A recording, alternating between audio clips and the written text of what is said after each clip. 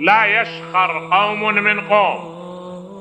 ترى آه، قوم المقصود بها الرجال تقتصر على الرجال. ويقول الشاعر وما أدري ولست إخال أدري أقوم آل معن أم نشاء.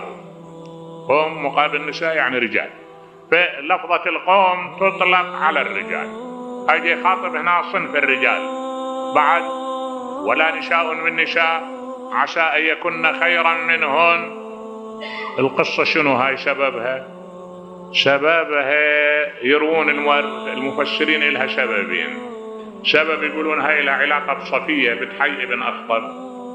صفية بنت حي بن أخطب كانت يهودية وأسلمت وتزوجها رسول الله صلى الله عليه وآله.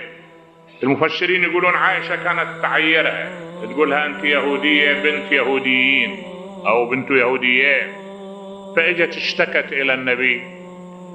قال لها انت بوسعك أن تقولي لها أنا أبوي هارون وعمي موسى وزوجي رسول الله.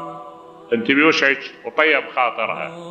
ورواية لا أن عائشة وحفصة كانوا يضحكن على أم سلمة. أم سلمة قصيرة قصيرة قصيرة القامة فكانت تأشر عليها بيتها تسوي أنها قصيرة. هذا المعنى نزل القرآن ينهى نساء النبي عن الإساءة إلى النساء الأخريات لا يكون تسخر امرأة من امرأة قد تكون أفضل منها لأن السخرية في واقع الأمر بها لون من ألوان الإهانة.